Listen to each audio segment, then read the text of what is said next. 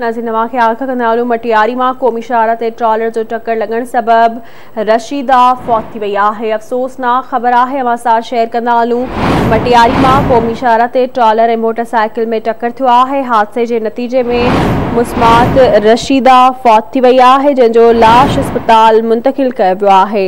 ख़बर अवां शेयर कंदा मटियारी माँ क़ौमी शाहरा ते ट्रॉलर जो मोटरसाइकिल खे टक्कर लॻण सबब मुस्मात रशीदा फौत थी वई आहे।